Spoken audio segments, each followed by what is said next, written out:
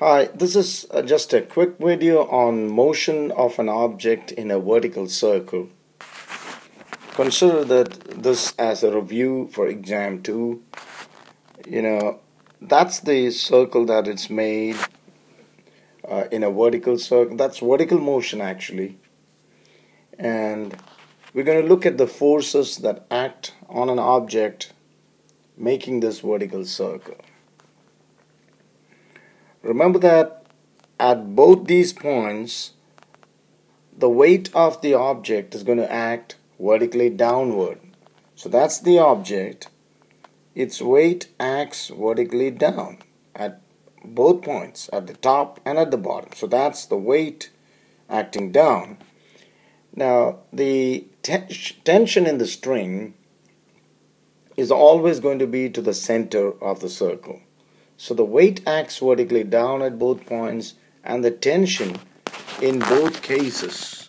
Uh, the tension here, this is the tension in, at the lowest point and you can take this as the tension at the highest point. So both these tensions are towards the center of the circle and the weight is vertically down at both points. So at the highest point, you see that both the tension and the weight are towards the center, while at the lowest point the tension is towards the center, but the weight is away from the center. Now that's the primary difference. So when you write the equations uh, at the highest point,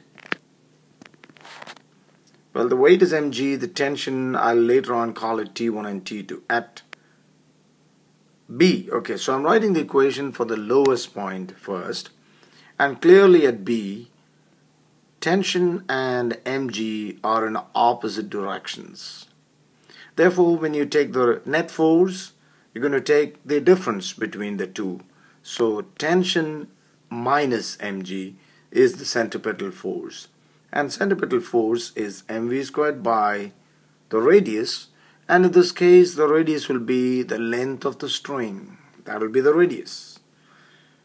But when you write the equation at A, since tension and weight both are acting down, the net force will be the sum of the two.